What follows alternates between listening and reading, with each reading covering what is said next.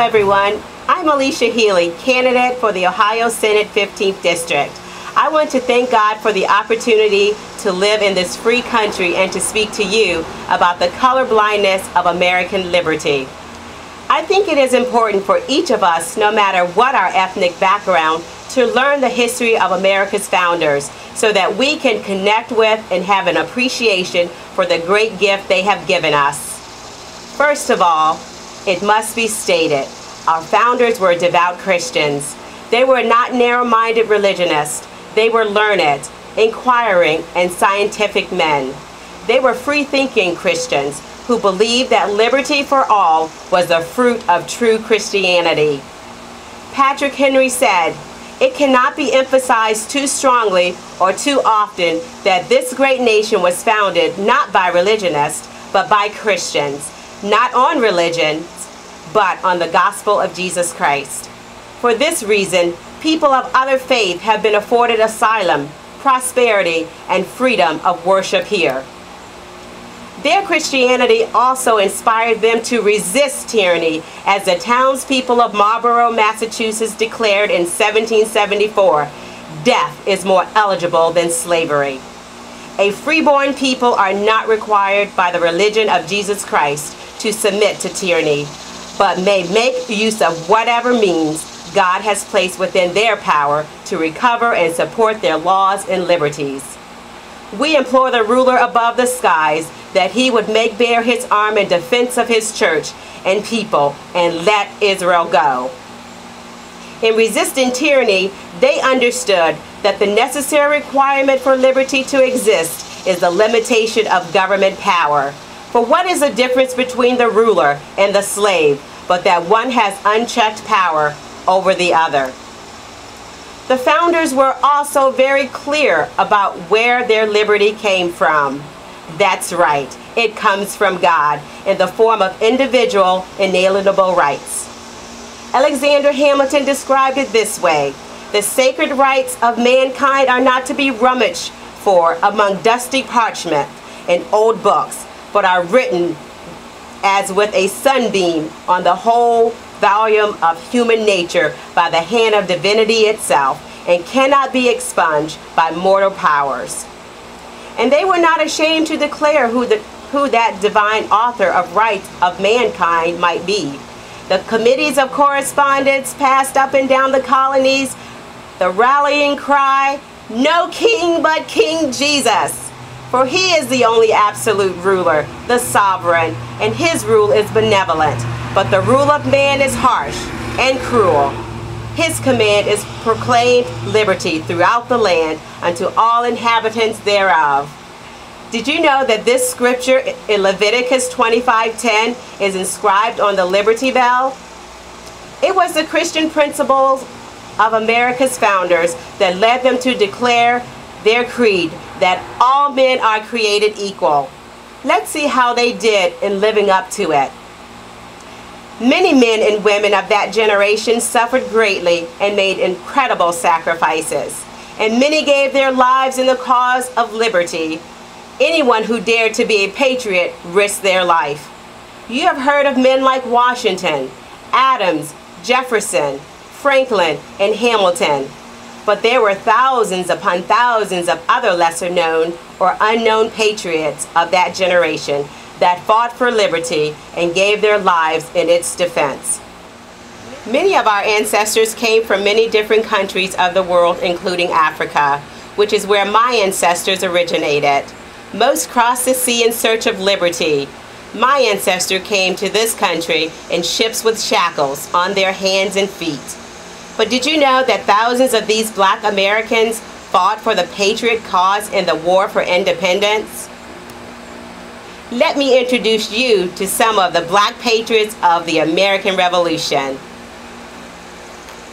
Crispus Attucks stood side by side with other American patriots who were gunned down by the British troops in what became known as the Boston Massacre. It was a leading event rallying American colonists toward resistance and independence. In 1781, the Battle of Groton Heights after suffering heavy casualties against the British. the Americans ran out of ammunition and began using bayonets, pikes, and their rifles as clubs. Major Montgomery, a British officer leading the attack, was speared and killed by Jordan Freeman, a black patriot, an act that was witnessed by other American patriots. He then received numerous bayonet wounds and died nobly. There is a memorial plaque at Fort Griswold honoring him. Prince Whipple was a slave of William Whipple, a signer of the Declaration and a general in the Continental Army. Seeking courageous soldiers to mount an attack on the British, he appealed to his servant to fight with him bravely, to which Prince Whipple replied, Sir, I have no inducement to fight, but if I had my liberty, I would endeavor to defend it to the last drop of my blood. The general freed him on the spot. Prince Whipple crossed the Delaware with Washington. He served as a soldier throughout the war, fought many important battles, and even served as an aide to General Washington. Other American patriots like James Armistead, Peter Salem, and Lemuel Haynes understood that the cause of American liberty was worth fighting for. Although many were slaves, they believed freedom would come to all. Their brave example shows us that liberty knows no color. Many of the founding fathers wanted to abolish slavery from the beginning of the Revolution. They considered it an abomination, a curse they inherited from the empires of Europe from which they had fled. The Puritans of New England never condoned it. The middle colonies wanted to see it done away but a few colonies in the Deep South held strongly to this great sin and were unwilling to bend. The vote for independence had to be unanimous, so any holdouts on this issue would destroy the whole effort. Jefferson clause in the Declaration harshly condemning slavery did not pass and had to be scratched. But a few years later, he would be instrumental in seeing to it that neither slavery nor involuntary servitude should be permitted in the Northwest Territory, from which Ohio became the first state. The curse of slavery never stained the soil of Ohio. Aren't you glad? This is free soil. In 1787, the framers of the Constitution again had the chance to end slavery. George Mason called for cessation of the slave trade and it was halted in 1808 but they would not abolish it outright. The Deep South resisted again, and our founders compromised. Gouverneur Morris of Pennsylvania condemned it as the curse of heaven. Elbridge Gerry of Massachusetts predicted civil war. The cotton gin was invented and slavery became more prosperous and grew. Old sins are hard to break, but God had other plans for our republic.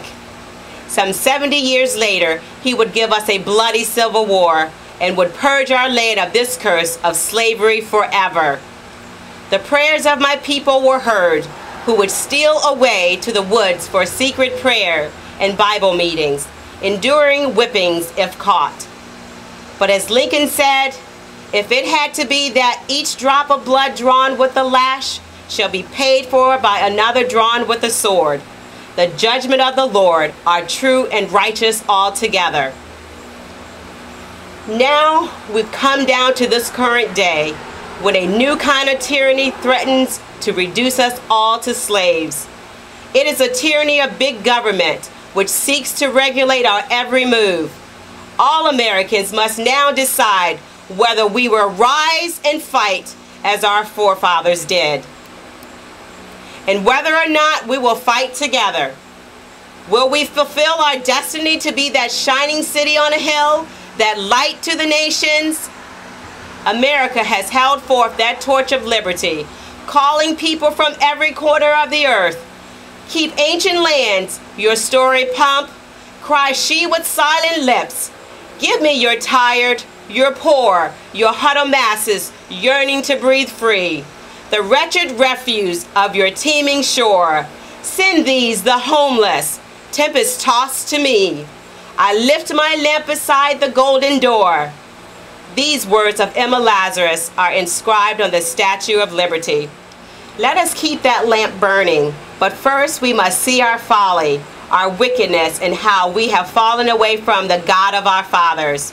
We must heed the words of 2 Chronicles 7:14. If my people who are called by my name shall humble themselves and pray, seek my face, and turn from their wicked ways, then will I hear from heaven, I will forgive their sins, then I will heal their land. What is America's great sin today? Is it not that we permit the murder of the unborn child for our own convenience and call it a woman's choice, birth control, or family planning? Is this not a great offense in the sight of Almighty God? Unless we fight to see this stopped as slavery was stopped and many other national sins, he will not spare us. So let us march into battle united in the cause of our great God and restore America. For he has sounded forth the trumpet that shall never sound retreat. He is sifting out the hearts of men before his judgment seat. Oh, be swift, my soul, to answer him. Be jubilant, my feet. Our God is marching on. Thank you, and may God restore America.